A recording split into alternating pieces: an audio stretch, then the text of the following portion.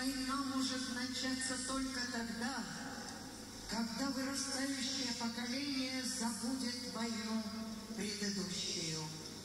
Мы помним, мы гордимся, мы помним вас, ушедшие герои.